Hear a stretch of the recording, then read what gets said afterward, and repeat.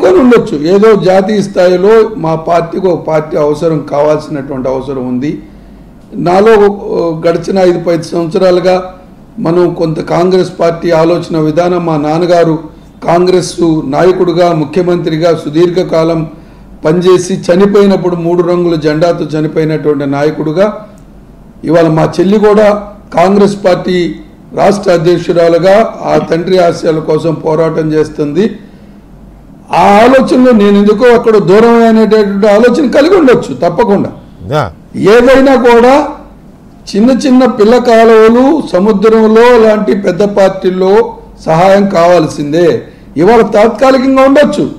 ఇవాళ మనందరి ముందు మీరు ఇందాక అన్నారు ఏ ఇవాళ ఒక పార్టీలో ఒక పార్టీలు కలిసి ఉంటే భవిష్యత్తులో ఇంకో ఎక్కడుంటే ఎవరు తెలియవు. ఇవాళ మన కళ్ళ ముందు చూసాం బీజేపీ పార్టీ చంద్రబాబు నాయుడు గారు ఏమేమి విమర్శించుకున్నారు మనం అన్ని చూసాం. జగన్ పవన్ కళ్యాణ్ గారు బీజేపీ గారు ఎన్ని పార్టీలు ఎన్నిసార్లు ఎన్ని తిట్టుకున్నారో మనం చూసాం. ఇవాళ కలిసి ఒక కుమ్మడి కూటమిగా పోటీ పోటీ చేస్తూ ఉన్నాయి.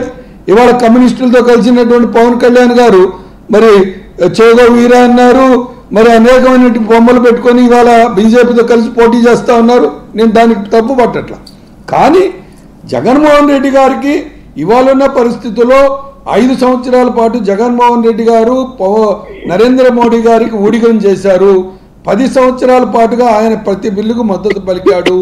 ఆయనలో జగ రాజశేఖర రెడ్డి గారు చనిపోయేటప్పుడు ఏమన్నా అంటే ఈ దేశం ప్రశాంతంగా లౌకికవాదంగా ప్రతి భారతీయుడు ఒక స్వేచ్ఛ పిపాసులతో బ్రతకాలి అంటే రాహుల్ గాంధీ ప్రధానమంత్రి కావాలి. కేవలం మతం పేరు మీద రాష్ట్ర అభివృద్ధిని దేశ అభివృద్ధిని ప్రజలను చీల్చేటటువంటి ప్రయత్నం చేసే మతోన్మాద శక్తుల్ని వాళ్ళ భరతం పట్టాలి అంటే అది కాంగ్రెస్ తోనే సాధ్యమైంది ఇందరమ్మ పాలన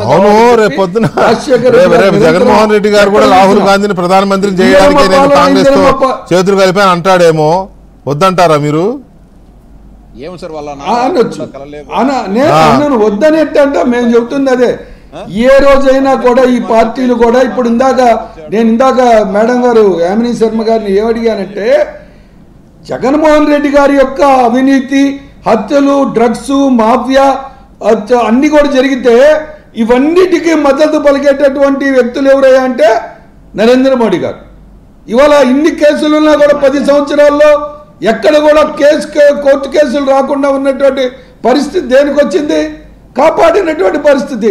ఇవాళ డ్రగ్స్ ఇక్కడే కాదు ఇవాళ గుజరాత్లో ప్రతి పోర్టులో కూడా యాభై వేల కోట్లు డెబ్బై వేల కోట్లు లక్ష కోట్లు అది నేను చెప్పింది కాదు.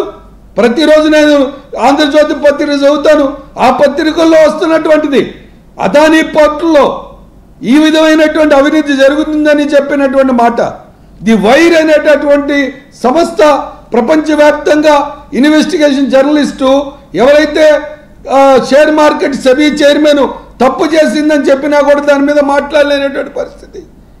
ఇవాళ మీరు చూస్తూ ఉన్నారు నరేంద్ర మోడీ గారు విదేశ యాత్రలకి మనకున్నటువంటి ఆసియా దేశంలో అది శ్రీలంకనా బంగ్లాదేశా పాకిస్తాన్ ఆఫ్ఘనిస్తానా లేదా ఆస్ట్రేలియాలో ఇంకో దేశంలో వెళ్ళొచ్చిన తర్వాత మూడు నెలలకు మించకుండా అదాని ఆ దేశంలోకి వెళ్ళి కాంట్రాక్ట్ తీసుకొచ్చుకున్నటువంటి పరిస్థితి. ఈ దేశాన్ని ఏ విధంగా చూస్తాం మనం? అందుకోసం.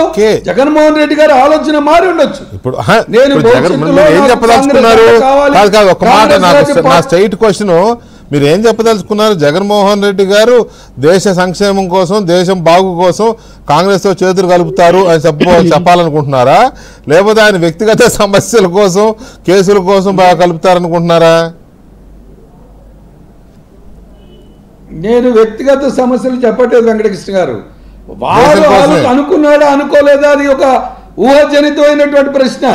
దాన్ని నేను కాదంట్లా. కానీ ప్రాంతీయ పార్టీలు కానీ ఏ పార్టీ అయినా ఎప్పుడు కలుస్తాయో మనకు తెలియదు. ఆయన అనుకొని ఉన్నట్టు ఇప్పటికైతే ప్రివేల్ కాల డెఫినెట్గా ఆయన వస్తే ఏ రోజైనా కూడా సముద్రం లాంటి కాంగ్రెస్ పార్టీలో రావాల్సిందే. ఎందుకంటే ఆ ఓటు బ్యాంక్ అంతా కూడా కాంగ్రెస్ ఓటు బ్యాంకే. అదైతే నిజమే. కుటుంబం కాంగ్రెస్ ఆలోచన విధానంతో ముడిపడినటువంటి ఓటు బ్యాంక్. అదైతే నిజమే నో డౌట్. ఆయన దగ్గర ఉన్న ఓటు బ్యాంక్ అంతా కాంగ్రెస్ పార్టీది. రాజశేఖర రెడ్డి గారిది కాంగ్రెస్ పార్టీది నో డౌట్. ఏ రోజు కూడా ఏ రోజు కూడా భవిష్యత్తులో కూడా ఆ ఓటు బ్యాంకు ఇతర పార్టీలకి ఇతర మతోన్మాద శక్తులకి ఇతర కుచింత పార్టీల దగ్గరికి వెళ్ళేటటువంటి ఓటు బ్యాంక్ కాదు. తప్పకుండా ఓటు బ్యాంక్